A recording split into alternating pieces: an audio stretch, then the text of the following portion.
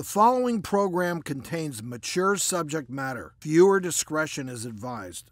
As a psychiatrist, there's a rule. There, you cannot have sex Mm-hmm. with a patient, a former patient. Psychologists are a little bit different. Mm-hmm. What is the rule? Is it I believe the rule is two to three years after you ended that therapeutic relationship with your client. So there is an ethical gap there. so? Is there ever a time where, in your opinion, it would be okay? You're a relationship Yes. expert and therapist. Yes. Is there a time where, look, two people could fall in love in that scenario? I get it. Because also, we're talking about different things here. You might be going into a therapist for talking about a very minor issue. It could literally be you could be forced to go into a, a therapy session because your dog is driving you crazy.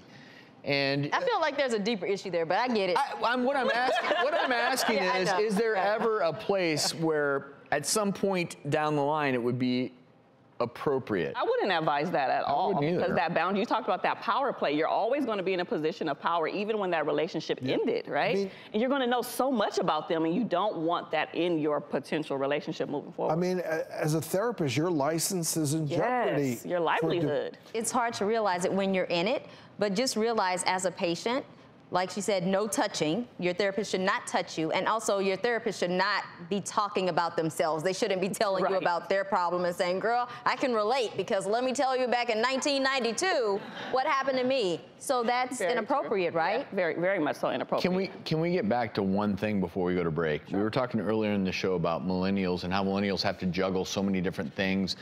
So what's what's really interesting about today's day and age is you could go see your therapist. Mm-hmm.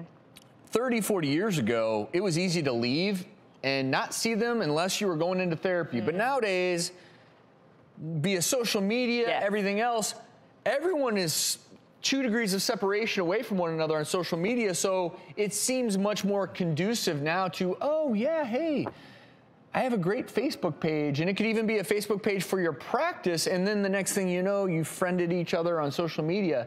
Those boundaries have blurred. Yes, yes. they And, have. and, and, and is that appropriate? Is it not appropriate? There are a lot of physicians out there who are very active on Telemedicine. social media and have mm-hmm. they have relationships outside of the clinic with patients on social media. Mm-hmm. That changes boundaries. Th- This is never before seen.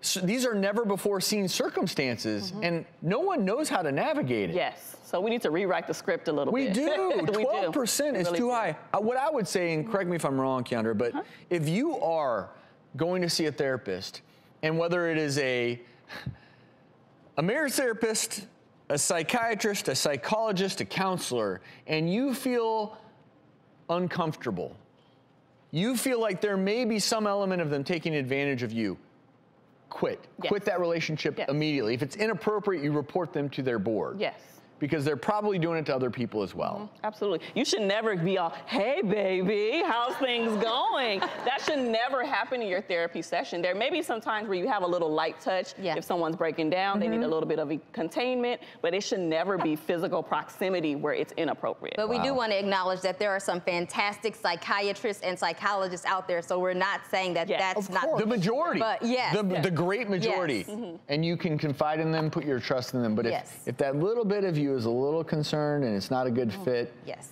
there are plenty of other Absolutely. yes. therapists And report that person too. report that Report that person. And we'll have mm-hmm. we'll actually have links on our website if you do worry that maybe you're in a I'll call it an abusive relationship with Yeah. your therapist where mm-hmm. you can report them and, and seek help.